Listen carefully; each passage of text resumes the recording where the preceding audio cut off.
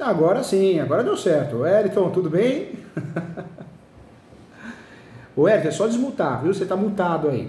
Clica no microfoninho para liberar. Isso, microfone. Agora sim. Boa agora... tarde, Luciano. Boa tarde, tudo bem? O, o, tá o, o, pai e filho é simpático demais. Eles entraram antes, é às 18 a consulta deles, eles entraram às 17. E aí eu abri, ah. abri os documentos, porque, separadinho, bem organizado, né? E aí tinha foto de um terreno. Eu falei, e essas fotos aqui? Eu falei, não, a gente não mandou foto. Aí eu achei coisa estranha. Aí a Camila viu que eles entraram no teu horário. Ah, entendi. Mas tá resolvido. Eu vou atender às 18, você tá marcadinho, vamos atender com muito carinho, viu? Você tá bem? Tudo bem, graças a Deus. Bom, bom te conhecer, Doutor. mais que o professor ganhou um amigo aqui. Fica à vontade, como você estivesse comendo bolo de fumar e tomando café aqui comigo, tá bom? Tá cortando a live. Agora foi. Tá, tá dando certo?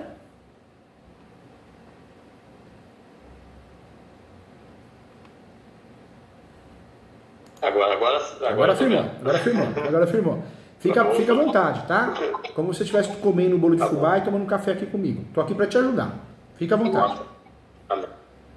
Doutor, o que que acontece? Faz uns sete, oito meses, é, eu vi esse, esse terreno, acho que até te mandei para ela mandar para o senhor, né? Eu vi o terreno e até interessei de comprar esse terreno. E fui atrás, né, para saber quem que era dono tal. Pesquisei, perguntei até para um rapaz que morava lá perto desse terreno, mas um rapaz meio inconveniente, meio grosso, né? Mas aí eu peguei e falei, ah, você quer saber, eu vou na prefeitura da cidade de Ribeirão Preto para me saber melhor, né? Aí eles não conseguiu dar muitos dados para mim, eu consegui puxar uma parte do, da via do terreno e pesquisei um pouco, né? É, entrei com até vi uns advogados, mas os advogados são muito leigos aqui em Ribeirão Preto, sabe? Até advogado Sim. de uso campeão, o pessoal é muito leigo aqui.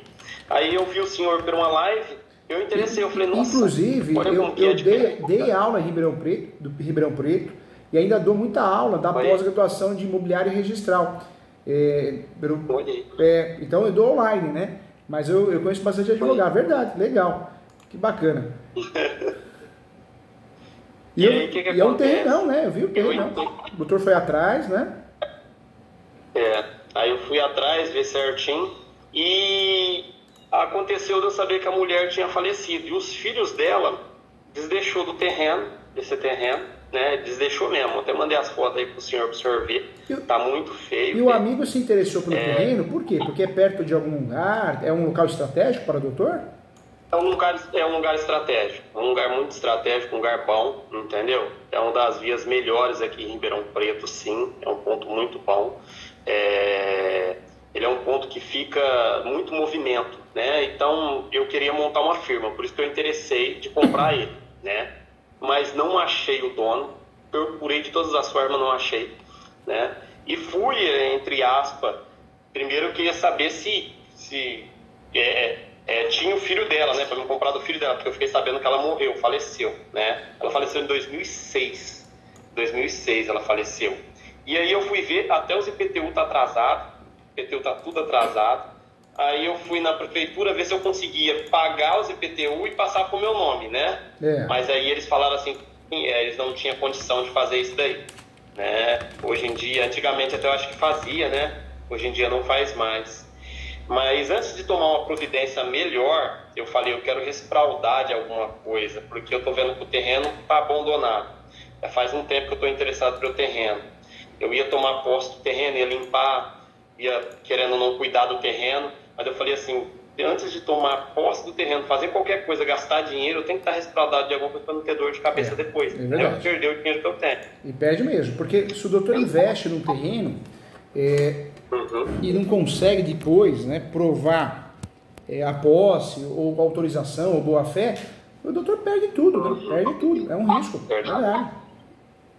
Isso que é mais dor de cabeça. É. Aí eu falei, quando eu senhor, viu até uma live do senhor, o senhor falando assim que até porque o meu problema é assim, entrar, né, e acontecer depois, antes de um ano, eles virem querer tomar o terreno, né, eu limpar, deixar tudo bonitinho, começar a cuidar, e eles vêm e tomar o terreno, né? Vamos falar assim, entrar com a cláusula é, e tomar. Eu vi um, o senhor falou assim que acho que depende a cláusula, né? Entre aspas, você consegue até um mês, você consegue entrar com uso campeão. Acho que foi mais ou menos daí que eu ouvi, se eu não estiver enganado. Né? E o meu medo maior é que eu tenho uma casa no meu nome. Então, é tipo assim, eu tenho minha casa. Às vezes muitos advogados falam para mim assim, não, não tem como passar pro teu nome se você tem casa, entendeu? E aí eu falei, poxa, mas como que? Aí um dia eu ouvi a live do senhor que tem como sim passar pro nome mesmo, se você tiver uma casa, tem como passar pro nome, entendeu? Se você pegar um, um terreno ou uma casa, assim, entre aspas, né? É, na verdade, o uso capião a gente pode fazer com um dia de posse, um mês de posse, um ano de posse. Só que para isso, a gente tem que usar a tese da soma da posse.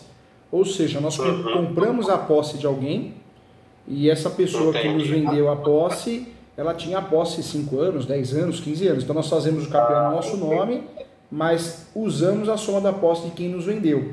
A soma da posse, ela pode ser uma sessão de direitos possessórias, é, sessão de direitos possessórios, alguns falam sei se é possessórios, é, e pode ser onerosa ou não. Então, às vezes, alguém te passa a posse. Agora, Entendi. como você, pelo que eu entendi, você assumiu a posse desse lugar faz pouco tempo, né? Ah, faz pouco tempo, não é, faz? Nem, não. Ainda eu nem tomei posse para não ter problema de dor de cabeça. Porque eu não quero ter uma dor de cabeça. Eu queria tomar posse, limpar. Eu já até combinei com o rapaz para ele limpar ele cobrou 1.700 para anar o terreno, limpar certinho, alinhar o terreno. Só que, pelo que eu vi, é, tipo assim, eu falei, eu não vou gastar esse dinheiro, fiquei meio assim, espraldado. Vou espraldar primeiro, para mim, antes de entrar no terreno, cercar o terreno, entendeu? Porque, tipo assim, eu tenho medo de fazer isso daí, e vamos falar como as pessoas só dão valor quando perde, né? É, é verdade. é quando você vê que a pessoa viu que perdeu, vai vir igual um leão em cima e tentar, lógico, eu queria negociar se ele vinha, mas às vezes ele vem e ele não quer negociar, né? ele quer tomar posse do terreno.